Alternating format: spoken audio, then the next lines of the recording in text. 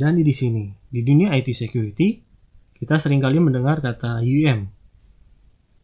Nah, pada sesi kali ini kita akan membahas mengenai apa itu UEM, Unified Endpoint Management.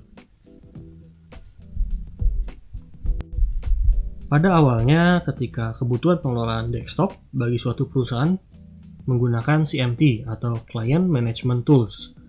Ini biasanya digunakan untuk mengatur maupun mengawasi ratusan bahkan ribuan sistem Windows yang dipakai oleh perusahaan. CMT juga dikenal dengan PC CLM atau PC Configuration Lifecycle Management. Ini alat pengelolaan konfigurasi sistem untuk desktop dan laptop.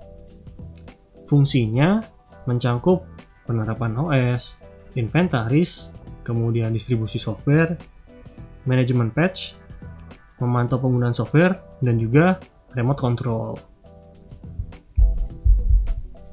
Perangkat-perangkat desktop yang dimiliki oleh perusahaan dimanage dengan menggunakan CMT tadi.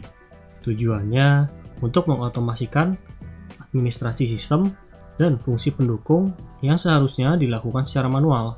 Jadi, perusahaan nggak perlu ribet lagi nih mengatur perangkat-perangkat yang dimiliki.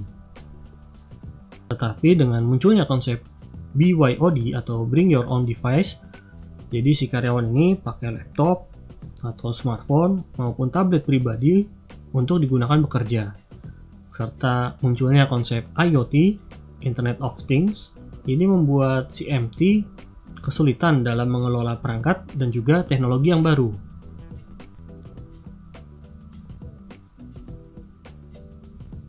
Dikarenakan kemampuan dari CMT ini sudah tertinggal, lalu banyak perusahaan mulai menggunakan tools atau alat yang baru yaitu IMM, Enterprise Mobility Management, yang fungsinya mengelola dan juga mengamankan perangkat-perangkat seperti desktop, laptop, smartphone, tablet, dan juga MacBook.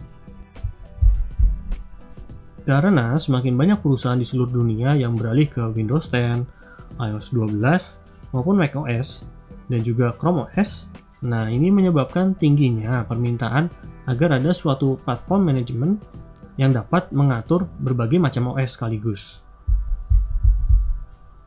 Selain itu, muncul lagi nih teknologi atau konsep yang disebut dengan EOT atau Enterprise of Things, yaitu mulai dari sensor, beacons, maupun perangkat yang serupa. Perubahan ini mendorong perusahaan untuk mencari solusi yang memberikan kemudahan untuk mengatur banyak perangkat sekaligus dan juga operating sistemnya ya. Ini ada laporan dari Gartner Magic Quadrant berkaitan dengan IMM.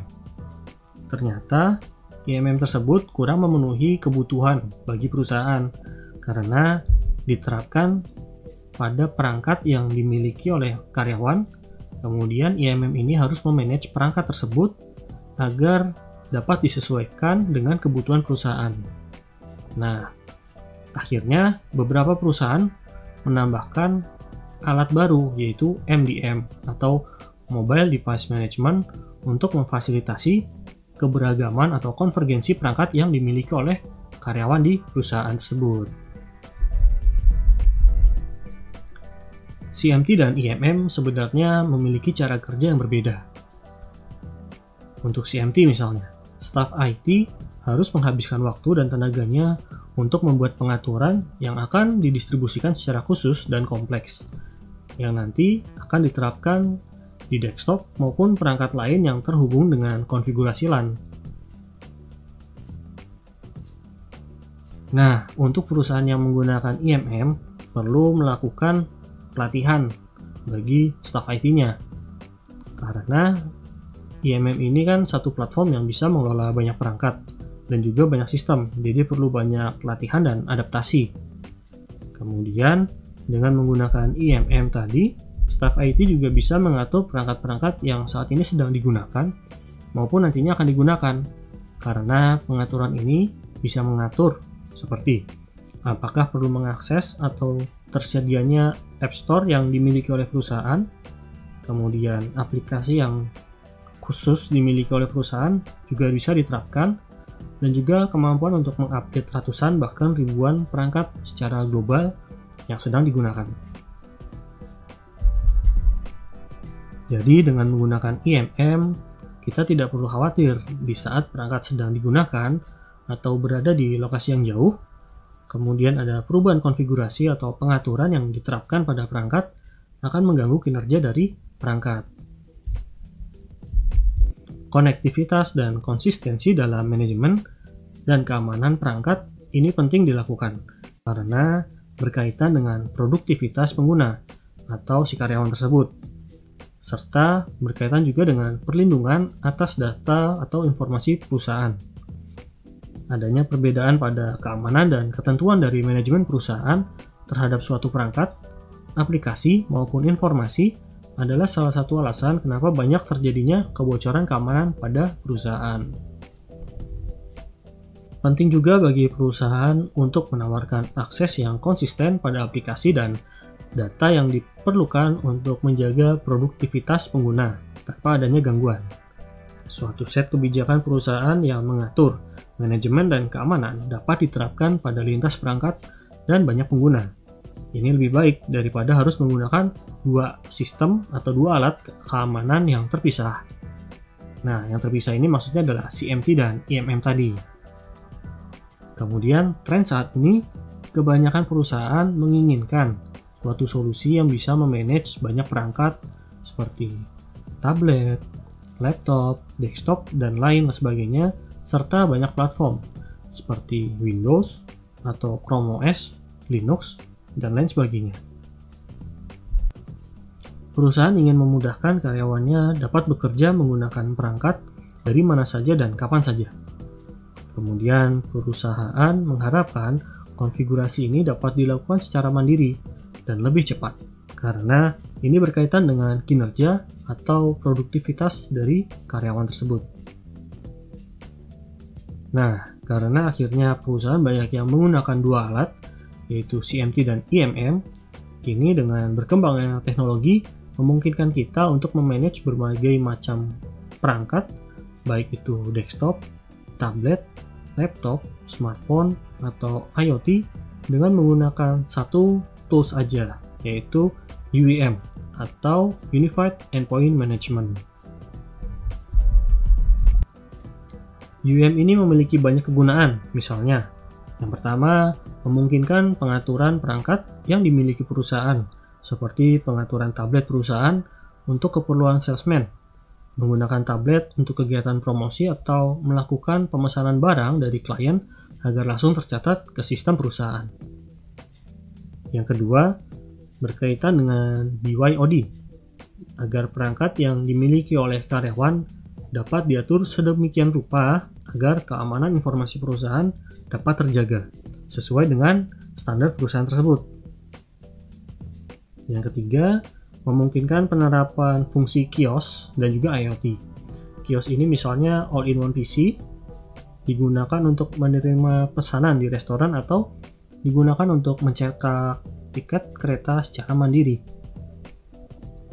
Kemudian UM ini merupakan gabungan dari pertama CMT, Client Management Tools, Nah, ini memungkinkan memanage desktop maupun laptop yang berbasis Windows. Yang kedua, IMM dan juga MDM. Jadi bisa memanage desktop, laptop, tablet, rugged device, penerapan mode kios, kemudian berbagai macam platform atau OS seperti Windows atau macOS, Android, iOS maupun Linux. Nah, contohnya pengaturan akses Wi-Fi pada tablet misalnya, atau pengaturan dan pemasangan aplikasi perusahaan di smartphone milik karyawan. Yang ketiga, IoT. Ini bisa berupa wearables, sensor, beacons, maupun gateway. Dengan UM ini, karena banyak perangkat yang bisa di-manage dan berbagai macam platform OS, tentunya memudahkan perusahaan dalam mengatur perangkat-perangkat yang dimiliki. Ada juga manfaat lainnya, seperti pertama, UEM memudahkan pengaturan banyak perangkat yang mana berkaitan dengan penghematan biaya dan meningkatkan kinerja staf IT. karena UEM ini terpusat, sehingga memberikan visibilitas yang luas untuk pengelolaan banyak perangkat, platform, termasuk juga konfigurasi dan aplikasi. Hal ini memungkinkan karyawan bekerja dengan lebih nyaman sehingga meningkatkan produktivitas mereka. Selain itu, UEM juga membantu proses IT yang tadinya manual menjadi otomatis. Misalnya, laporan kondisi perangkat, audit, kemudian tracking perangkat, dan juga berkaitan dengan data loss function atau DLP. Nah, ini tentu menghemat biaya bagi perusahaan. Yang kedua, dapat meningkatkan keamanan IT, memungkinkan admin untuk memberikan akses yang sudah dipersonalisasi untuk aplikasi tertentu dan data perusahaan berdasarkan tingkatan maupun peran dari pengguna atau lokasi serta pola penggunaan terlepas dari kepemilikan perangkat maupun jaringan yang sedang digunakan. Serta admin juga dapat menerapkan kebijakan lainnya seperti kebijakan ketika pengguna melakukan logout atau pembuatan password maupun kebijakan lainnya. Yang ketiga, memungkinkan membantu pengambilan keputusan yang lebih berkualitas. Banyak bisnis modern yang sudah mengintegrasikan kecerdasan buatan dalam memproses data serta menganalisis tren. Nah, UM ini membantu dengan menyediakan data yang aktual dari perangkat yang dimiliki oleh perusahaan, seperti aplikasi apa saja yang sering digunakan, kemudian seberapa besar rata-rata penggunaan internet oleh karyawan. Nah, data-data ini bisa kita dapatkan dari UEM. Sebenarnya, siapa sih yang membutuhkan sistem UEM ini? Biasanya mereka yang berkaitan dengan keamanan dan operasional bisnis. Mereka yang sering menghadapi masalah dalam penerapan maupun pelaksanaan di lapangan karena berkaitan dengan memastikan kepatuhan keamanan, pengelolaan perangkat, pengelolaan pengguna, dan juga pengaturan aplikasi yang diizinkan ada beberapa kriteria yang perlu dipertimbangkan oleh perusahaan sebelum menggunakan solusi UEM. Yang pertama, harus menyediakan satu platform tunggal untuk melihat maupun mengelola aktivitas setiap perangkat, seperti desktop, laptop, tablet, wearable, maupun gateway. Yang kedua, mendukung banyak platform seperti Windows, iOS, Android, macOS, Linux, dan lain sebagainya. Yang ketiga, memudahkan untuk membuat dan mengelola aturan untuk diterapkan pada perangkat-perangkat yang dimiliki oleh perusahaan. Yang keempat, memungkinkan untuk mendeteksi adanya routing atau jailbreaking pada perangkat.